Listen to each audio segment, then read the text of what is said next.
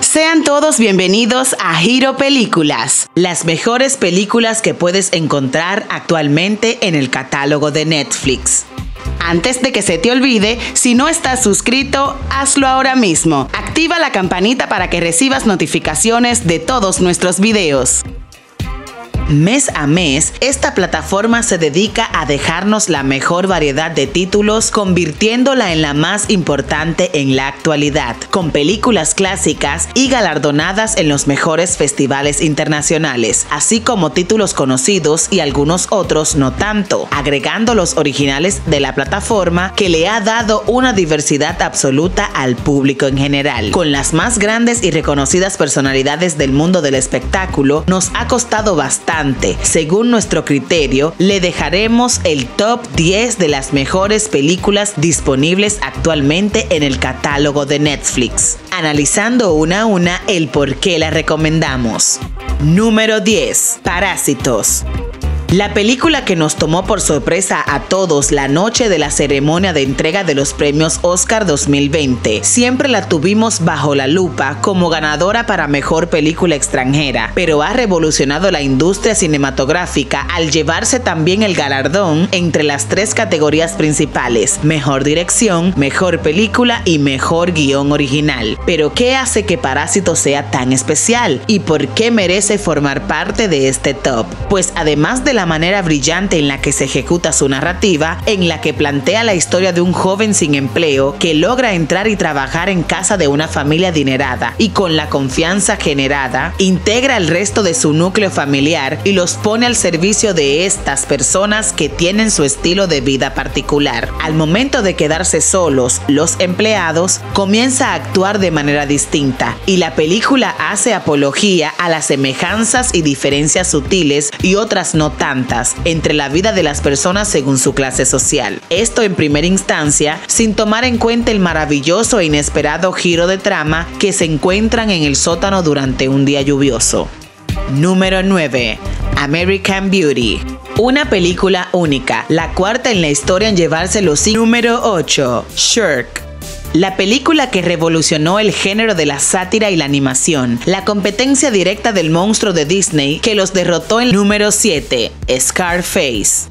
De la mano del veterano director Brian De Palma y uno de los mejores actores del siglo, Al Pacino, llega el remake que rompe todas las reglas establecidas del cine, esa que dicta que rehacer una película siempre sale mal, pues todo lo contrario con Scarface. Nos encontramos a Tony Montana, un gángster en ascenso, seguido de una vertiente de pasión, lujuria, sexo y violencia, incluyendo también un matiz de política, pues para surgir en el mundo del narcotráfico comienza haciendo pequeños trabajos para un cubano y va revolucionando hasta convertirse en un capo de la mafia, cuya ambición desmedida lo lleva lentamente hasta un inevitable final, que aunque un poco previsible, es perpetrado de una manera maravillosa, paseándonos como espectadores en un recorrido entre la locura, la paranoia y la avaricia del personaje.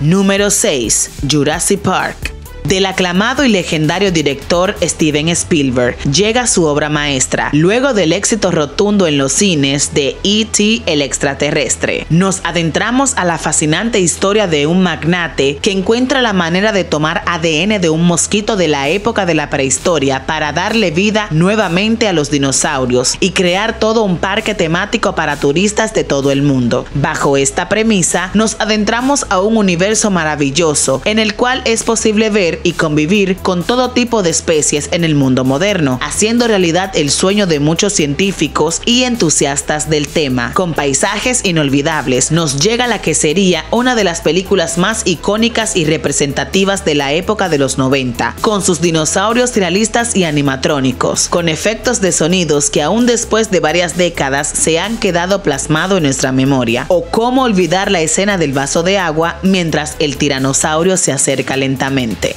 Número 5. The Matrix.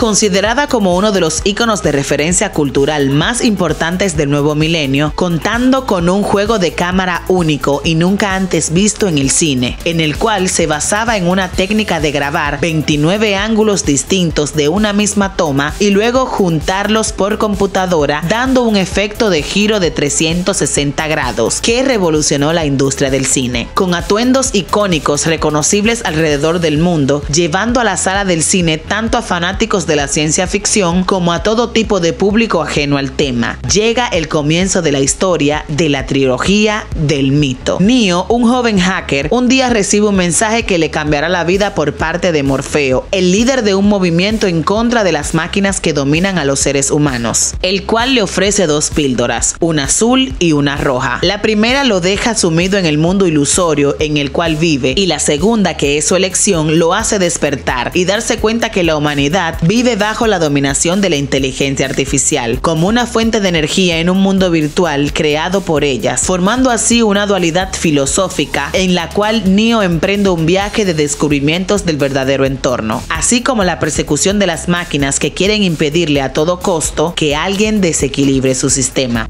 Número 4. El pianista.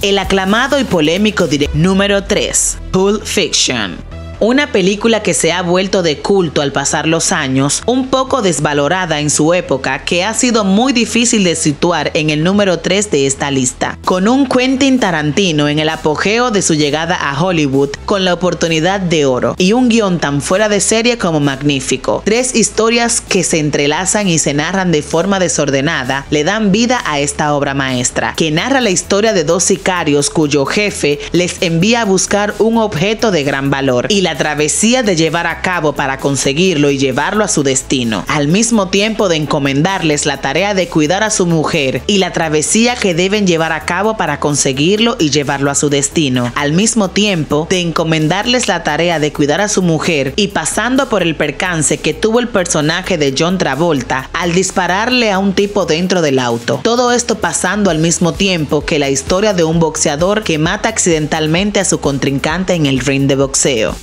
Número 2. Forrest Gump se queda con la segunda posición la ganadora del Oscar a la mejor película y mejor actor de este año, por encima de la posición anterior, Pulp Fiction. Una historia, aunque ficticia, que ha llegado al corazón del mundo entero, pues nos muestra la lucha de un chico con capacidades especiales y un bajo coeficiente intelectual, que lucha contra todas las adversidades que la vida le ha presentado, colocándolo en situaciones en las que ha salido siempre bien librado con optimismo, hasta en las situaciones más extremas, persiguiendo siempre la ilusión del amor de su vida, Jenny, una chica rota que ha sido abusada desde pequeña y él la ve como el amor de su vida. Ella nunca lo ha tenido presente, sino como un buen amigo, y mientras pasa el tiempo, ella se sumerge en un abismo de vicios, alcohol, maltrato y drogas, mientras que Forrest logra ayudarla y sacar el lado positivo de todo, desde la guerra de Vietnam hasta representar a los Estados Unidos en las Olimpiadas de ping pong, así como él cree en el sueño de su compañero Buba y al terminar la guerra, incursionar junto al teniente Dan en un barco camaronero hasta hacerlos multimillonarios. Una historia de ficción oda a la reflexión y la esperanza. Número 1. La lista de Schindler.